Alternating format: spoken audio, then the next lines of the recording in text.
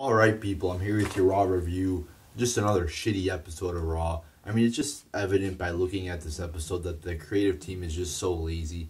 I, I mean, I mean, there's just no uh, complicated shit on the show. There's no, there's nothing on this show that's like that has an ounce of creativity in it.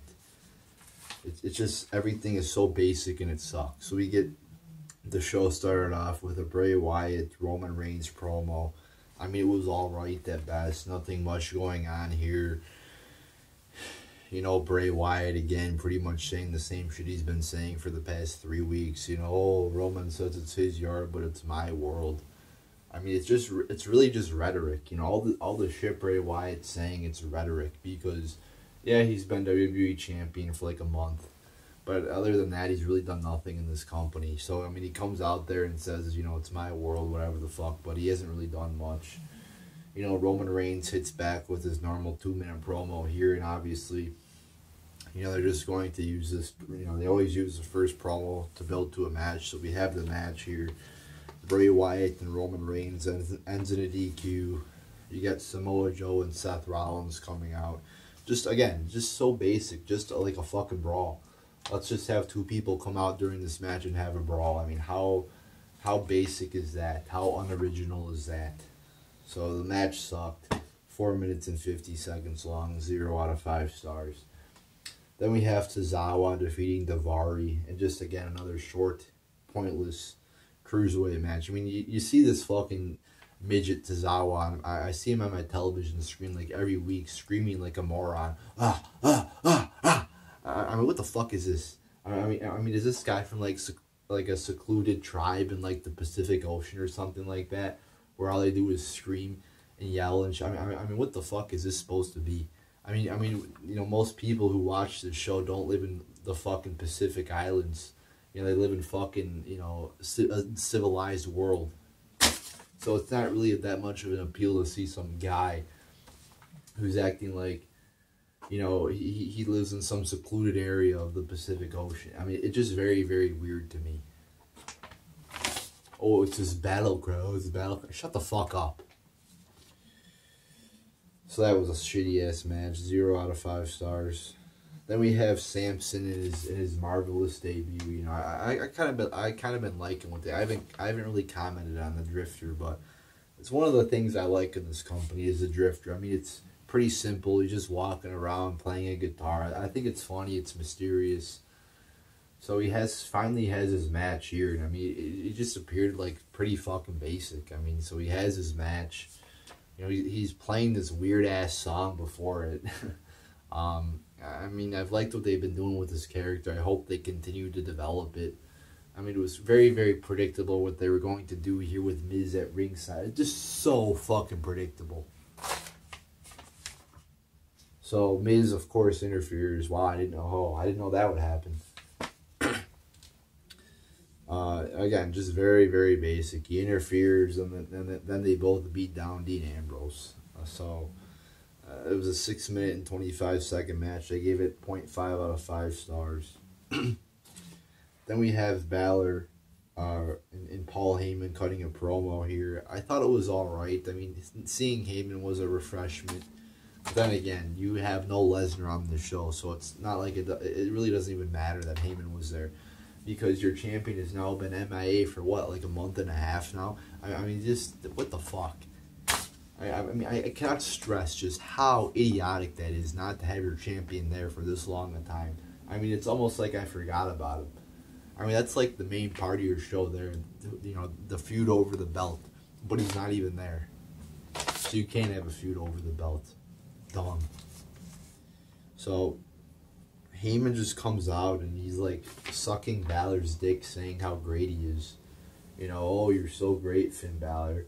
When he hasn't even really done anything in this company, he hasn't. They, they brought him up to the main roster, and then he got hurt, and now you know Heyman's out there saying how great he is. I, I mean, why? He hasn't really done anything.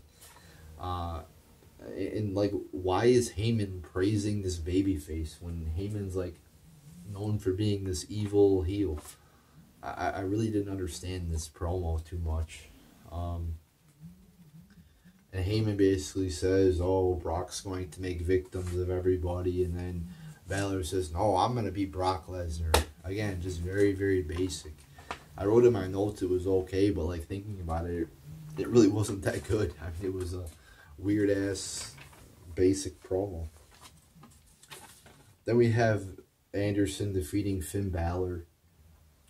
Um, you know, right after Heyman just put him over, you know, Anderson just just beats him like that. It, it, you know, very very weird to see. I, I mean, I think I got. I wrote I wrote it in my notes. You know, it's so hard to keep track of this fucking show. Um, you know, it's it, it, was a very unforgettable show tonight. So I apologize if I have that right, but I, I think I I think I got it right. Uh, it was a six minute and 20 second match. I gave it a half star out of five. Again, it's just like throwing two people together in a match for no rhyme or reason whatsoever. And it was just a boring ass, basic fucking match. And again, um, I, I mean, that to, to, to put Anderson over Balor like that, um, I, actually, I, I, I, I remember now. Um, Balor did win I don't know why I wrote that, but I'm, I'm almost sure that Balor won. Thinking I don't know why I wrote that. You know, just watching the show gets you so, so far in a trance, and, and it gets you so bored, and it makes you so tired. You know, it's the cure for your insomnia, so it, it does put me to sleep at times, or makes me sleepy. So I apologize for that mistake there, but uh, yeah, Balor did win, so my my bad there, but uh, still a shitty ass, just boring match. I mean, it was pretty predictable who was going to win there even though I got it, I got it wrong in my notes. I, I, I apologize for that mistake. The Ruthless Ranter is not perfect, despite what many of my fans like to think. Then we have Alicia or uh, Banks defeating Alicia Fox. They've had like three matches over the past three weeks, and all they're like, this is a big rubber match here, you know, the big tiebreaker match. Each have won a match, and it, it was a fucking two minute and fifteen second match. I mean, what a joke! What a fucking joke! Terrible. Zero out of five stars. Sasha Banks wins. I don't give a fuck. Then we have Kalisto defeating uh, Apollo Crews in 2 minutes and 40 seconds. Once again, just a th throwaway match. I mean, if you're going to have matches that are 2 or 3 minutes long, it just gives the message that you, you don't really give a fuck about it. And that's just a, you're, you're just wasting people's time with, that, with this shit. So that's another 0 out of 5 star match. And then then we have uh, Matt Hardy defeating Sheamus. I just thought this was a pretty boring ass match, to be quite honest with you. You know, I saw some "This is awesome" chants out there. Some some some fucking idiots chanting that "This is awesome." I mean, it really, this was not awesome, you idiots. I, I mean, like I'm watching this match and it's just you know, oh Matt Hardy hits the, the tornado DDT. Sheamus hits you know his move. Hardy hits it. I mean, there's no diversity. There's no unique moves to this shit. So I don't know why the fuck people are chanting this is awesome. I gave it a half star out of five. So then the Hardys get to pick the stipulation for the match and they pick a fucking steel cage. I mean like it might be good, but I'm thinking like steel cage you have a really confined space. Like even if there's two people in it, it really limits the amount of shit you could do because it's just such a small area having a fucking double that, you know, tag team steel cage match, it just seems like it's so fucking box standing. There's you're you're really you know claustrophobic in there. Then we have Aries defeating Nese in another just shitty cruiserweight match that was hey under five minutes. What a shock! Four minutes and thirty seconds long. They gave it a half star out of five. Once again, just just basic as you can get. I mean, whoever's writing this show is just obviously doesn't know what the hell they're doing because I can write this. I mean, again, there's no like intricate storylines or anything. I mean, I mean, it's just it's like wrestling 101. It's like fucking monkey monkeys are writing this shit. I mean, it's just it's like the people who are writing this show have no brains whatsoever. I mean, you know, you're actually supposed to be like thinking about the shit you're writing, you know, throughout the entire week. I mean, like, what do they do all day? They just sit in a room and do nothing. Uh, I mean, you're actually supposed to be thinking of like storylines that I can never think of. I mean, looking through these three hours of shit, I mean, I could think of all this shit. I mean, it's just so basic. I keep using that word, but I don't know what else to say because it is. Then we have uh, Bliss defeating Mickie James in another fucking just horrible match. Two minutes and 55 seconds long. A waste of time. I gave it zero out of five stars. Then we have your main event, Joe, uh, Samoa Joe, and Bray Wyatt defeating Roman Reigns and Seth Rollins. Just a boring tag match. I mean, you know my thoughts on tag matches in this company. They usually suck, and this one did too. Uh, it didn't even pick up at the end. It was just, for the most part, boring. Boring, boring, boring. And, and it's just like, oh, you know, the, the heel team win, wins, and that's it. That's it. That's your main event. And, they're doing this shit, you know. You see Kurt Angle backstage. First off, he calls Finn Balor Finn Balor. What, what, what the fuck? I mean, really? I mean, I mean, you don't know what the fuck this guy's name is? What are you fucking dumb? Baylor? Really? And then they're, they're, still doing this shit. Well, oh, you know, in one of the main events, this guy's gonna be wrestling, and then the other main event. What the fuck are you talking about? The other main event. There's only one main event, you fucking dumbasses. I mean, here's uh, again, you know, the, the, they come out and they say, "Oh, we love the fans, we love the fans," but now they're trying to deceive the fans into thinking we're getting like something special by, oh, they're giving us two main events on Raw.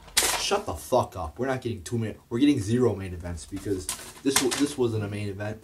Pretty much every Raw main event sucks. So that by definition, by your definition, it's not a main event. So shut the fuck up about the, two main event, two main event. Uh, no, there's only one main event by my definition, and that's the end, the the, the last match of the night. By your definition, the main event's a great match, you know, with two you know good wrestlers. So going off of your definition, there's really never a main event because every match in this uh, on Raw just sucks dick.